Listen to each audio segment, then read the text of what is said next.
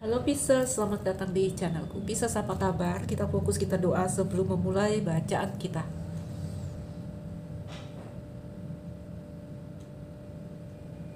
Oke Pisces Dia padamu saat ini tentang mereka Ada apa dengan mereka? Apa yang terjadi dengan mereka? Teman-temanku Pisces Berharap pada energi kamu yang terbaca di sini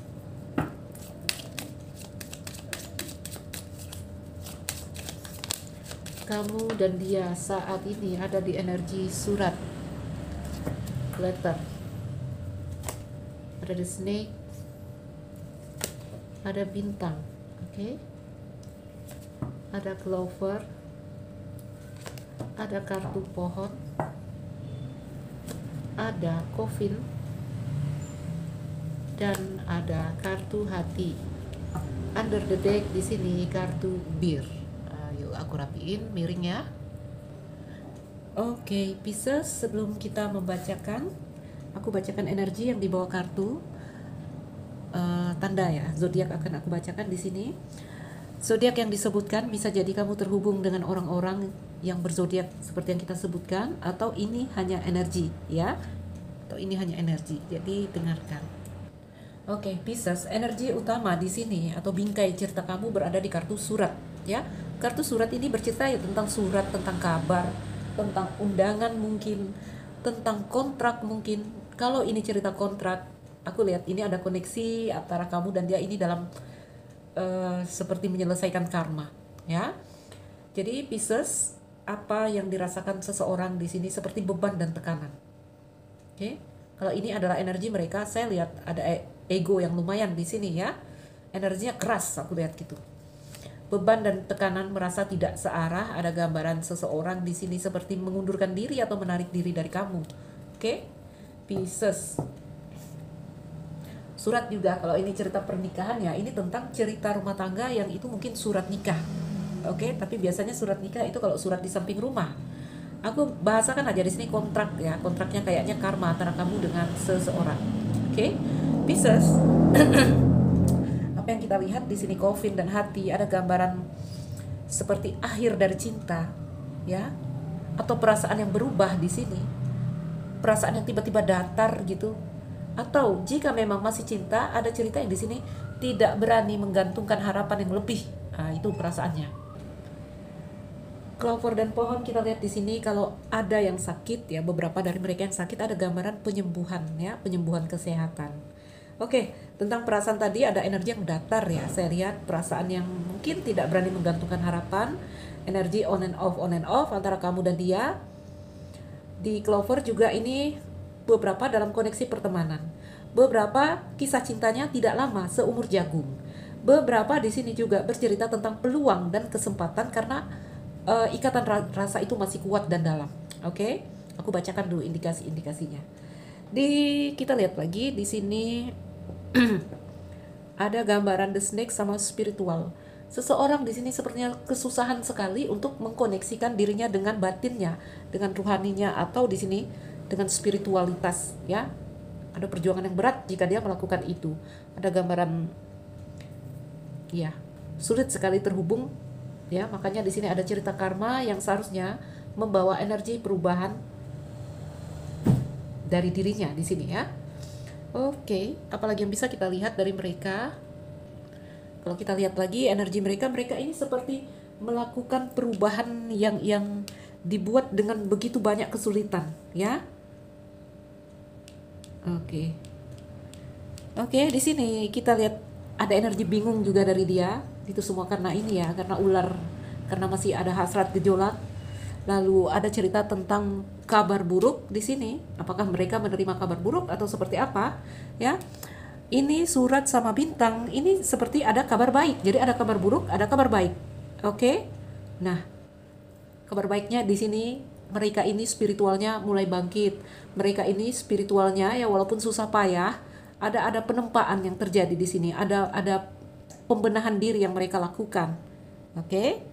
Oke, apalagi di sini ya. Ini semua bercerita tentang takdir antara kamu dan dia.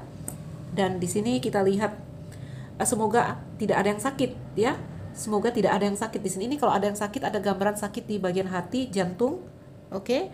Ini juga menunjukkan perasaan yang dalam. Ayo kita bacakan dalam love reading. Jadi itu energi-energi yang dibawa mereka. Pisces dalam cerita cinta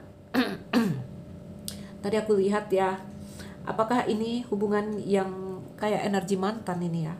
Ada gambaran kamu udah berakhir dengan orang ini lalu seperti ada peluang atau kesempatan kedua. Oke? Okay? itu semua karena rasa begitu dalam. Jika ini hubungan yang masih berjalan ada perasaan hati yang datar yang mati yang dia rasakan di sini. Atau paling tidak tidak ber, tidak berani berharap banyak di dalam kisah antara dia dan kamu. Hubungan yang terjadi saat ini. Jadi ini sebelumnya ada energi coffin ya kalian ini sudah melewati satu siklus yang berat lalu energinya coffin saat ini COVID ini kan peti mati teman-teman. Uh, setiap ada kematian selalu ada kelahiran. Makanya energi kamu dan dia saat ini di energi clover ini sekarang presentnya di sini. Oke? Okay? ada peluang kesempatan untuk kembali terhubung kenapa? Karena ada cerita yang kuat sekali akarnya masih dalam cerita karma antara kamu dan dia. Ya beberapa cerita tentang kerabat keluarga oke okay? jadi peluang kesempatan. Teman-temanku melihat the snake di depan sini ya. Beberapa waktu dekat ke depan aku lihat dia mulai lagi. Pieces the snake ya. Mulai lagi ada kekusutan kekusutan yang melanda mereka di sini. Kalau pasangan ya aku nggak tahu apakah dia mendua ya. Oke. Okay.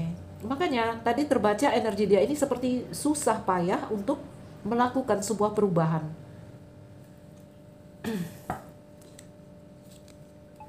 kenapa ada the snake?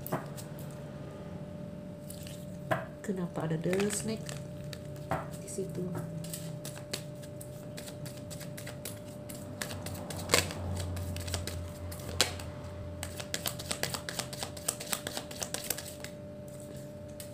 Oke. Okay.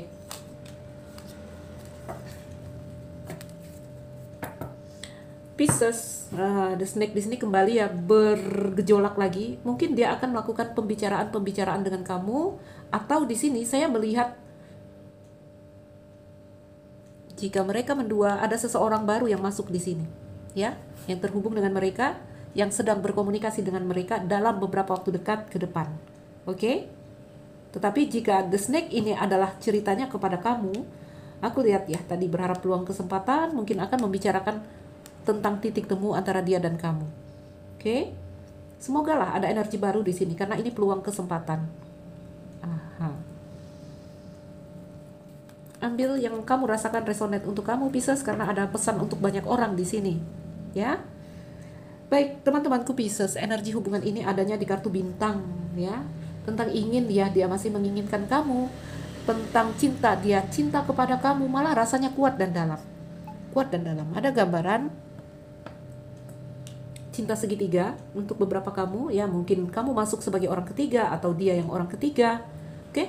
Kalau cerita rumah tangga ada gambaran pasangan yang mendua di sini. Jadi ambil yang mana yang resonate untuk kamu. Oke? Pieces apa pun itu outcome dari cerita kamu dan dia ini ada di kartu hati ya. Orang ini mencintai kamu orang ini masih menginginkan kamu oke? Bahkan berhasrat saya lihat kepada kamu untuk kalian yang terhubung dengan orang-orang baru ya sebaiknya berhati-hati karena ini energi ular ya. Energi ular ini kalau kita mau lihat dia ini hanya untuk fun untuk iseng mungkin enggak ya. Karena ada ada kartu hati di sini ada rasa cinta di sini. Tetapi di kartu ular ditakutkan kalian akan terjebak pada kisah cinta segitiga oke? Okay?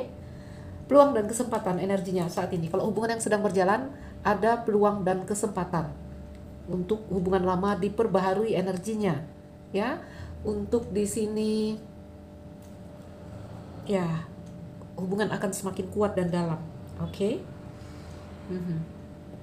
on and off on and off oke okay?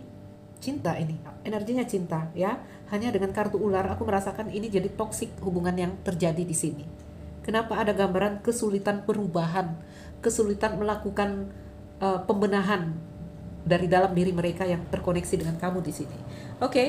bisa siapa pun itu orang ini mencintai kamu, ya. Mungkin juga ada gambaran di sini surat apakah dia ingin mengabari kamu atau dia di sini menunggu kabar dari kamu. Oke, okay, Pisces. Ambil mana yang resonate untuk kamu, lepaskan yang tidak resonate untuk kamu. karena kita dalam prediksi umum. Baik Pisces, berharap ini jadi bermanfaat.